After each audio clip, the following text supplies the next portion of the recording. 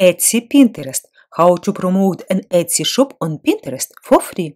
Find free group boards for your products and how to find Pinterest group boards.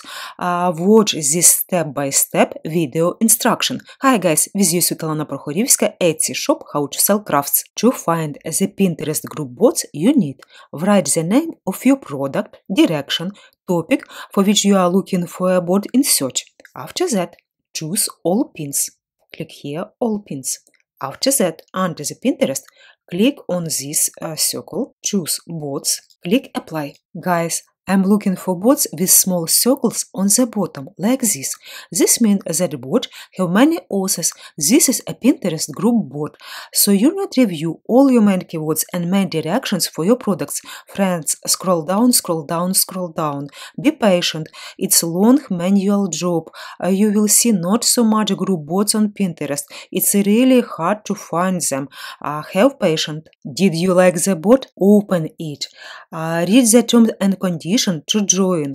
Uh, in some cases, you need to write to the author of the board on Pinterest or write to her him by email. In some cases, you just need to click the join button like this. But before that, don't forget to follow the board author so that he or she can add you. Click on these circles. Owner, the author of this group board, is number one. Guys, if you don't have time to manually search for boards for a long time, use my work for you 500 group boards for Etsy sellers, 40% off, and read my ebook How to Use Pinterest for Etsy, 30% off to 2024. Guys, if you have any question, write under this video about Pinterest, about Etsy. I will make a video answer for you.